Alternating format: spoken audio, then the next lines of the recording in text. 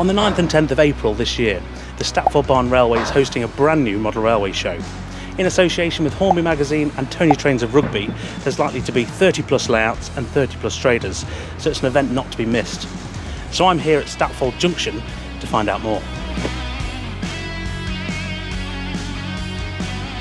So guests will start their day here at Statfold Junction, boarding one of six services in Steam, or one tram.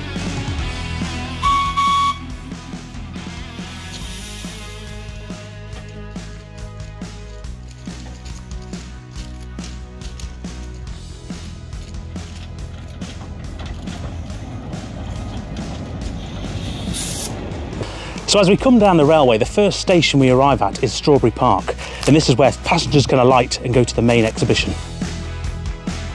So believe it or not, this huge building behind us is the Statfold Barn Arena, and that's where the main exhibition will be held.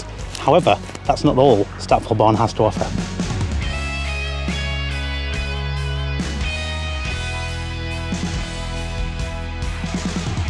Now the really exciting part of Statfold Barn is through this main entrance.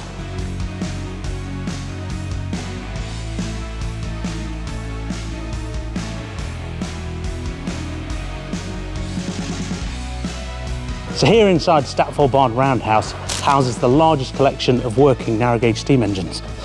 But that's not all. We have another exhibition hall through these doors.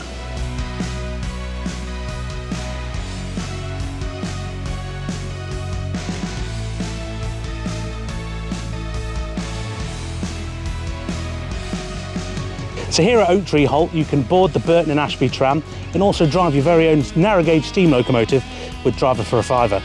All that at the Statfold Barn model event.